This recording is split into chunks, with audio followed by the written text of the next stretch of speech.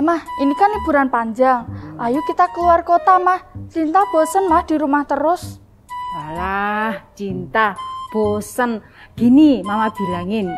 Sekarang ini pemerintah mengeluarkan surat edaran supaya kita tidak mudik. Tapi cinta bosen, Mah, di rumah terus. Alah, kamu bosen. Gini, gini aja. Ya, karena pemerintah sudah melarang kita untuk mudik, mudik di Semarang ke, mau di kota Solo, jangan dulu. Kalau begini kita uh, pergi belanja yuk, mau ndak? Mau dong, ayo mah kita pergi belanja dan keluar rumah, yeay! Walaupun deket-deket tapi nggak apa-apa. Iya, sing deket-deket aja, tapi kamu jangan lupa pakai masker sama bawa hand sanitizer. Oke mas, siap. Shalom adik-adik. Shalom.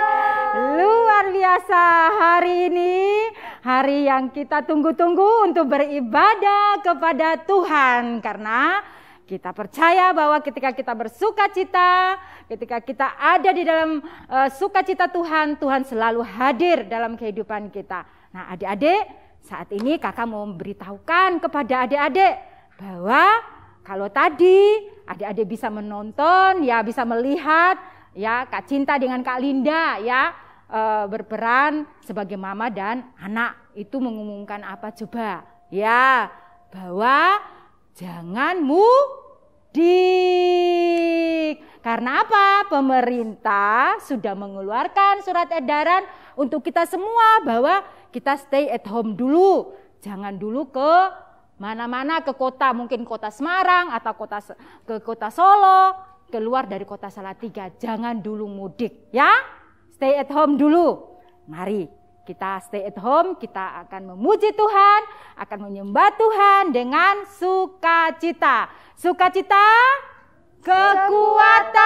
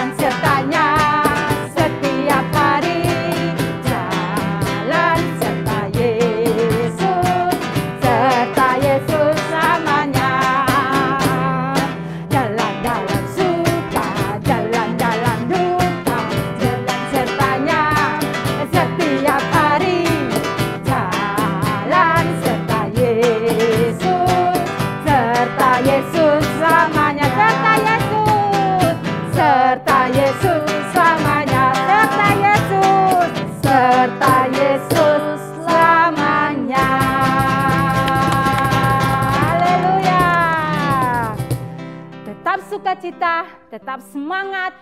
Walaupun kita stay at home, tapi tetap sukacita karena Tuhan Yesus adalah kekuatan kita ya. Mari kita akan mempersiapkan firman Tuhan. Ya adik-adik yang ada di rumah kita akan membaca kitab suci dan doa tiap hari pasti kita akan bertumbuh.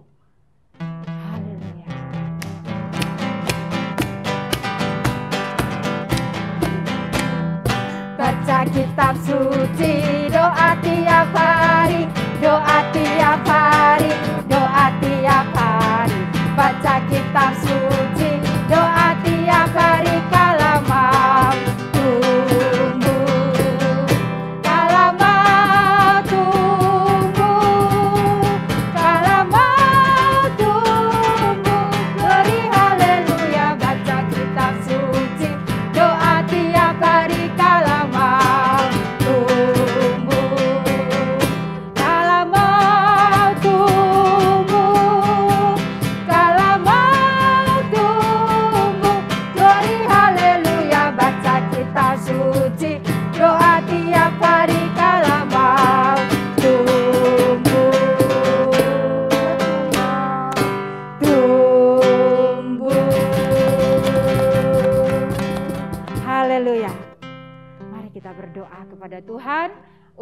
kita menyambut firman Tuhan dalam kehidupan kita. Mari kita berdoa.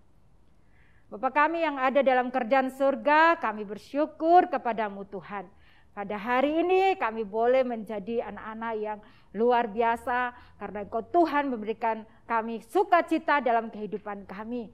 Kami hendak mendengar firman Tuhan, biarlah firman Tuhan itu menjadi rema, menjadi eh, pedoman dalam kehidupan kami, penuntun dalam kehidupan kami, dan kami menjadi pelaku dalam eh, hidup kami setiap hari melalui firman-Mu Bapa. Terima kasih Tuhan Yesus, kami berdoa Engkau memberkati hambamu yang menyampaikan firman Tuhan, biarlah dengan kasih-Mu, anugerah-Mu Tuhan, hikmat-Mu Tuhan mengalir dalam nama Tuhan Yesus dan kami sambut firman-Mu dalam hidup kami. Hanya di dalam nama Yesus, haleluya, amin. Wow, wow, wah. Halo kakak. Halo, salam. Salam, adik. Kakak. Udah siap ikut ibadah hari ini? Sudah, ini udah disiapin laptopnya kakak. Oke, nanti kakak tunggu untuk ibadah interaktif lagi ya. Nanti kakak telepon lagi ya. Ya, jaga jaga kakak. Eh, udah mulai ya. Aduh, uh, udah mulai. Wah, tuh, udah mulai. Tapi ini, tuh, tinggal dikit. Ah, nanggung banget. Bentar, oh, udah mulai pujian. Ah, bentar. Oh, haleluya, udah bangkit. Haleluya, udah hidup. Haleluya, udah naik. Roh Kudus turun. Ah, uh, udah mulai.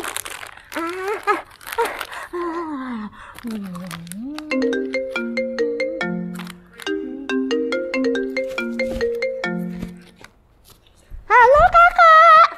Halo adik, udah lihat YouTube-nya? Udah, udah selesai. Eh, ceritanya mengenai apa? Ayo.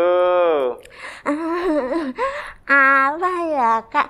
Aku lupa. Ayo, tadi, Tadi sungguh-sungguh memperhatikan dah. Sungguh-sungguh. Tapi Yang aku benar. lupa. Nah, ayo ceritanya mengenai apa? ah, anu, itu, itu kak. Itu Tuhan Yesus, Tuhan Yesus baik. Eh, Tuhan Yesus Ah, menolong. Salah. Loh, Lain kali kalau adik-adik mengikuti ibadah harus yang dalam posisi yang sopan, posisi yang sungguh-sungguh Iya. supaya firman Tuhan bisa diterima sama adik-adik, tidak mainan sendiri, ya, tidak makan makanan, ya, tidak ribut sendiri, ya, tapi adik-adik harus yang sungguh-sungguh memperhatikan firman Tuhan. Oke, adik-adik, sampai bertemu besok. Tetap semangat ya. Ya, Kakak. Terima kasih ya, Kakak.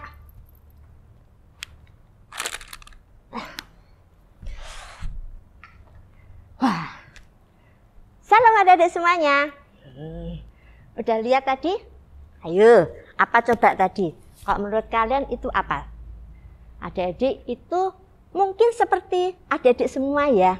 Tapi kakak percaya adik-adik semua pinter semua. Tidak seperti kakak yang tadi ditayangkan. Nah, um, tadi itu ceritanya tentang adik-adik Eagle Nest yang sedang beribadah Eagle Nest, tetapi dia tidak memperhatikan. Dia malah sibuk apa? Ngegame. Sibuk nih apa? Ngemil. Ngemil, ya. Dia tidak memperhatikan.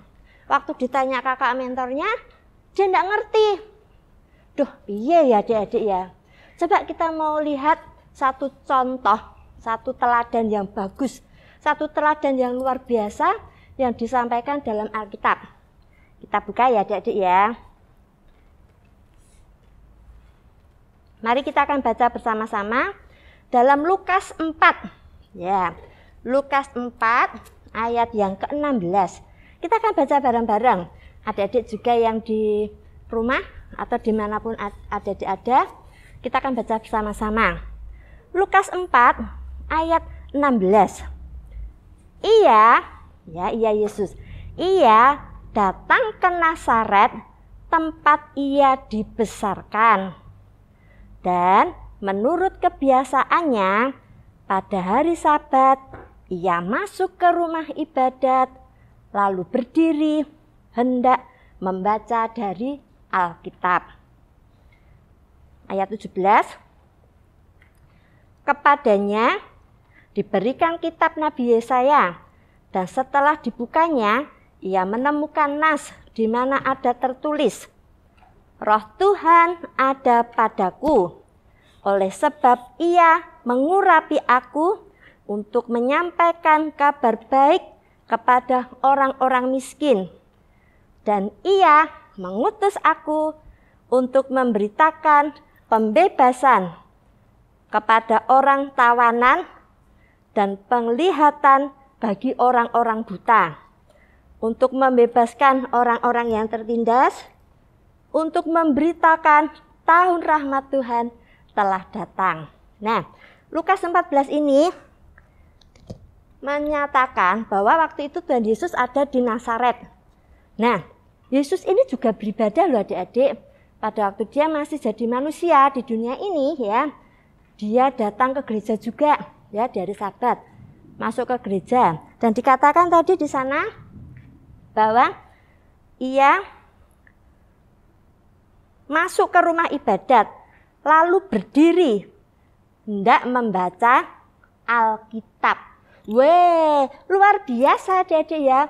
Tuhan Yesus yang Tuhan ya. Tuhan yang adalah Tuhan itu sendiri. Dia membaca Alkitab loh adik-adik. Ayo, adik-adik di rumah baca Alkitab enggak? Pasti baca ya, puji Tuhan. Kakak percaya adik-adik rajin semua membaca Alkitab. Nah, di, dikatakan di sana juga ayat 17 ya. E, kemudian Yesus membaca setelah menyampaikan firman Tuhan, dia kemudian duduk. Duduk dengan manis. Wah, duh, luar biasa. Kalau kita di rumah gimana ya? Apakah kita di rumah juga nonton ibadah YouTube, terus ikut nyanyi, berdoa, menyembah Tuhan. Waktu disuruh berdiri, kita berdiri, melompat, menyanyi. Ataukah kalau di rumah kita sibuk sendiri? Minum. Oh, makan ya, makan ngambil ngambil ngambil atau malah sambil gini ya. Kayak tadi tuh ya, Kakak.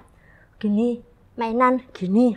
Wah, mainan gini Adik-adik, kakak berharap kita bisa mencontoh Tuhan Yesus ya.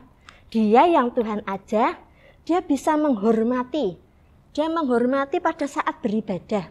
Pada waktu uh, waktunya untuk berdoa, berdoa sungguh-sungguh. Waktu nyanyi, nyanyi dengan sungguh-sungguh dan sukacita. Waktu menyembah, dia juga ikut menyembah. Nah demikian juga dengan kita adik-adik ya, kita juga bisa melakukannya. Yang penting berikan hidup kita, hati kita, tubuh kita, pikiran kita yang terbaik untuk Tuhan Yesus. Pasti Tuhan Yesus akan senang melihat adik-adik menyembah Tuhan. Waktu adik-adik uh, apa mendengarkan firman sungguh-sungguh nggak ada yang jalan-jalan sana. Masa waktu firman kok jalan serta Yesus? Oh, waktu firman jalan sana, jalan sini. Cari apa? Cari itu. Eh, halo? Eh, kamu mau ke mana? Temennya lewat. Eh, halo, mau ke mana? Wah, sibuk sendiri. Nah, tapi firman Tuhan hari ini mengatakan, ayo cari Tuhan. Waktunya kita cari Tuhan, cari Tuhan dengan sungguh-sungguh. Hargai Tuhan. Mari kita belajar untuk kita ini menghormati Tuhan ya. Mari kita akan menjadi anak-anak yang sopan. Waktu kita beribadah juga beribadah yang sopan, tidak seenaknya sendiri. Coba kalau adik-adik seumpama lagi ngobrol sama temennya, lagi ngobrol gitu terus temannya ada yang lainnya nganu telepon. Telepon terus telepon gini-gini lama. Yang diajakin ngomong tadi seneng ndak? Ndak ya dia nggak suka. Lo piye teman tak jauh ngobrol kok malah?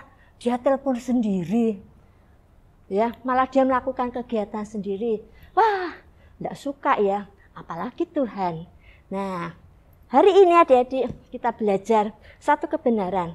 Mari kita hormati Tuhan. Mari kita menghormati ibadah yang ada, yang Tuhan sudah tetapkan untuk kita. Jadi jangan lupa adik-adik, mari kita akan belajar untuk kita menghormati Tuhan pada waktu kita beribadah ya. Oke adik-adik, tetap semangat. Oke, ayo mari kita akan berdoa. Semuanya kita belajar menghormati Tuhan ya adik-adik yang ada di rumah, ada di mana pun juga, ayo kita lipat tangan, kita tutup mata, kita mau berdoa. Sungguh-sungguh ya, ya, duduk manis boleh, berdiri boleh, tapi sungguh-sungguh. Ayo kita akan berdoa. Tuhan Yesus, terima kasih untuk kebenaran firman-Mu hari ini. Kami bersyukur Tuhan, sekalipun sangat singkat, tetapi kami percaya Roh Kudus akan memberkati kami memberkati adik-adik semuanya, memberkati kakak-kakak, memberkati papa mama dan kakak adik semuanya. Kami mau percaya apa yang kami lakukan yang terbaik untuk Tuhan, maka Tuhan akan mengasihi kami dan memberkati kami. Kami percaya saat engkau melihat kami sungguh-sungguh, hatimu disenangkan, hatimu bersuka cita, dan kami percaya Tuhan pasti memberkati kami.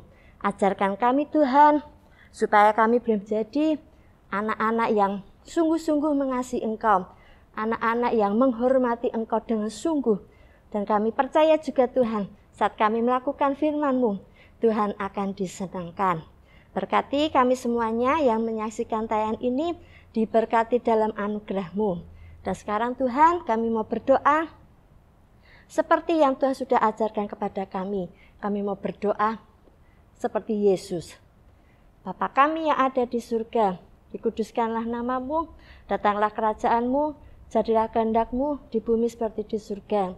Berikanlah kami pada hari ini makanan kami yang secukupnya, dan ampunilah kami akan kesalahan kami, seperti kami juga mengampuni orang yang bersalah pada kami. Dan janganlah membawa kami dalam pencobaan, tapi lepaskanlah kami daripada yang jahat. Karena engkaulah yang punya kerajaan dan kuasa dan kemuliaan sampai selama-lamanya. Haleluya. Amin. Dan biarlah berkat Tuhan melimpah atas hidup adik-adik semuanya hari ini bahkan sampai selama-lamanya. Dalam nama Yesus kami berdoa. Haleluya. Amin.